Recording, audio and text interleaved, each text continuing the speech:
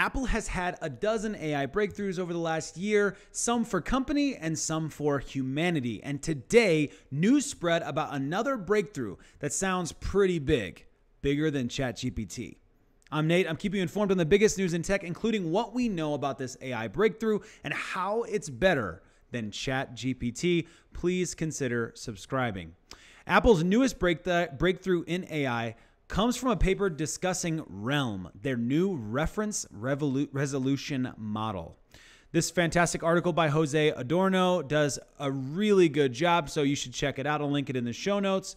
But reference resolution, if you don't know, is essentially training AI to make meaning out of contextual references that would be particularly challenging for a computer. For example, if I'm talking about my dad and my brother, and then I use the phrase, he is an incredible fisherman, it can be tricky to know if I'm talking about my dad or my brother.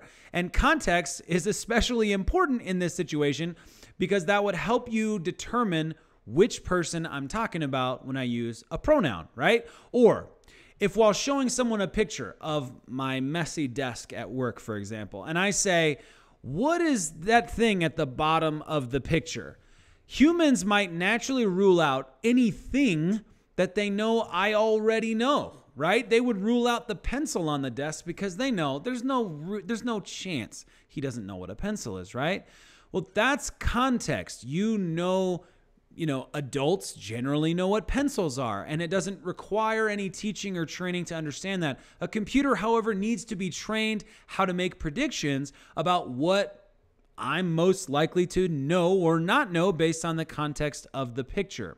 Reference resolution, albeit I'll admit I probably, if I thought a little longer, could have come up with some better examples, but you might have guessed that reference resolution is pretty complicated. It's it can get really complicated. I'll say it that way. There are easier contextual references and there are more complicated contextual references.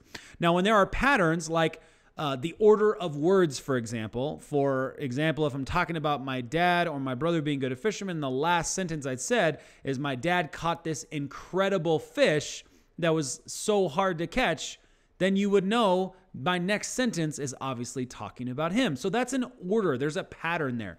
That kind of reference solution resolution is much more simple in terms of training AI to make those predictions. However, um, by nature, humans speak with a lot of variance. And so the way that people are typing into ChatGPT or talking to AI agents can vary greatly, even if they're trying to say virtually the same thing as somebody else. So this is where Apple has decided uh, that ReALM, this large language model, or it's a language model, it's a large language model um, that can understand and successfully handle contextual challenges and of, of different kinds. That could be really mind blowing. We'll get more into that in a second, but first, ReALM is not merely language. It also has the ability to understand references on the screen and in the background. Now, that is handy. Jose Adorno from BGR gives this example. One example is a user asking for pharmacies near them. After a list is presented, something Iris could do, you know who I'm talking about, the user could ask, call the one on Rainbow. Oh, I need to say that again. After a list is presented, which is something that Iris can do, the user could ask, call the one on Rainbow Road, call the bottom one, or call this number, assuming you're talking about the one on the screen. Now, Iris can't perform those second actions.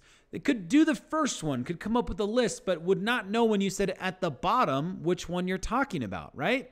So, ReALM, this language model, could understand the context by analyzing on device data and completing the query. So, to review, ReALM can handle on screen entities, so things that are displayed on the screen that you want to ask questions about, like a photograph, like details, that kind of stuff to conversational entities like who, in the context of my story, is a great fisherman. Truth is, both of them are. And three, it can handle background entities like music playing in the background, a timer that's going, etc. That kind of stuff. Now, in section 5.2 of the research paper, I went and looked for it because I wanted to make sure I understood what I was reading in some of these articles that have now been popping up Apple Insider, BGR, etc. Apple shows their baseline tests against GPT 3.5 and GPT 4 to quote, in the case of GPT 3.5, which only accepts text, text, our input consists of the prompt alone. However, in the baseline test, however, in the case of GPT 4, which also can contextualize on images, we provide the system with a screenshot for the task of prompt and prompt plus image formulation are to be the best of our knowledge in and of themselves novel, talking about Apple's own ReALM being better, novel, being completely unique in some way, shape, or form, right? While we believe it might be possible to further improve results, for example, by sampling semantically uh, similar utterances up until we hit the prompt length, this more complex approach deserves further dedicated exploration, and we leave this to future work. So, one, we have yet another novel AI breakthrough according to Apple at least, under totally fair, they're biased, but according to Apple, a novel AI breakthrough that's better than ChatGPT when it comes to these contextual um, reference resolutions. Number two, we have an excellent reasoning agent that will someday presumably be able to help us talk to what we are seeing on the screen in a powerful way. I love this one. This one might be the most valuable of all of it, at least in terms of probably not the most valuable, but it feels the most valuable, feels the most magical, right? For the everyday user who knows nothing about AI to be able to look at a picture on their phone and just be like, Iris, what is this? What am I looking at? Or Iris, can I find a restaurant that serves this meal? Iris, how could I how much could I sell this on Facebook Marketplace for? Right? Like those kinds of questions for everyday people, it, that's genius. They don't have to do prompt engineering. They can just ask questions about what they see. That could be absolutely mind blowing. Like, totally change the iPhone experience forever. If Apple is right, we even have an agent that can better understand the context of our conversations with its with meaning less errors, less challenges, less mistakes, more forgiving prompts, etc.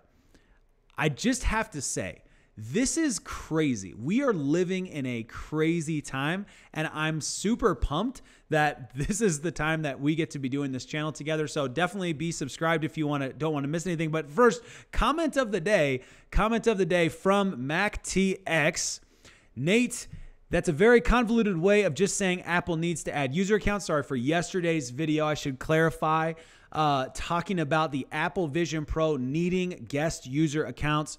The guest mode that's already there is fine for the intended purpose, letting someone try the experience. What's missing and what most people are probably referring to when they say better guest mode is user accounts. People what people what to be want I'm assuming to be able to share AVP among different regular users and have easy switching between users, basically user accounts. So Mac TX Firstly, you're totally right in saying that that was a convoluted way to talk about user accounts. That is 100% what I was describing and just clearly not clear enough for you. And so that's a completely fair criticism. And then to your second point, talking about that being the way that you uplift the guest user experience right now, that's exactly what I'm talking about. So you are right on. MacTX, I'm with you 100%. Thanks for the comment. Appreciate the feedback. I'll work on that convolution thing. I was trying to say that in a convoluted way. Did it come across? I don't know. We'll see. Hey, check out my other tech news channel, which focuses on the biggest storylines of the day to make sure you don't miss anything. Otherwise, think different, stay crazy.